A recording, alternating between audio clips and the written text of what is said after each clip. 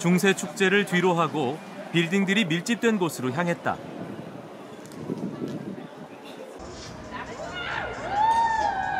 건물 사이로 하늘을 날아다니는 사람들의 모습이 보였다.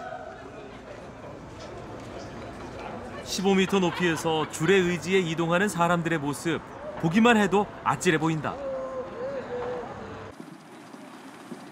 좀 더 가까이서 보기로 했다.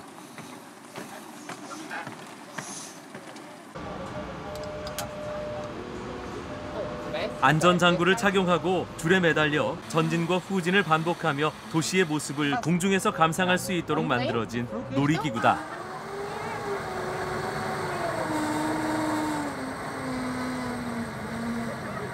Uh, it's a flying fox, and uh, it's very cool and very amazing. You can fly like an angel, so it's very funny. I, I, I wasn't afraid. It was, I felt like an angel, and I felt I was free.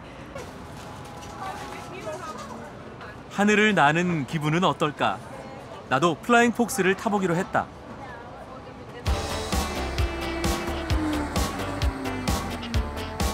마치 케이블카처럼 부드럽게 움직이기 때문에 예상했던 만큼의 공포감은 없었다.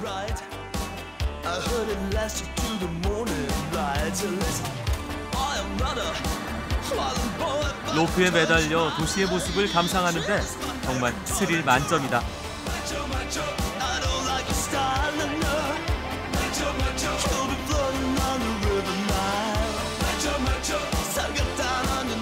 린치의 건물 옥상은 정원처럼 꾸며져 다양한 예술 작품들이 전시돼 있다.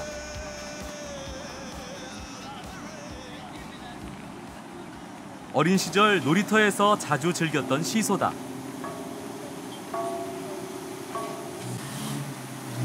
시소를 타면 음악이 흘러나온다.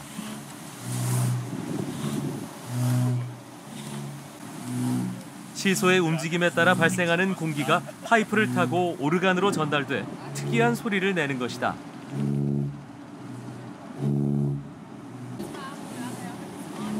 놀이기구 하나에서도 예술에 대한 이들의 감각을 느낄 수 있었다.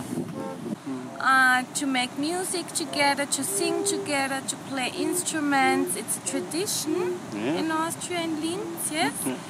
And uh, yes, and people love it to try new things in in Austria, yeah, and to, to make music and to dance and so. Yeah. Yeah, Every people want to new art, right? yeah.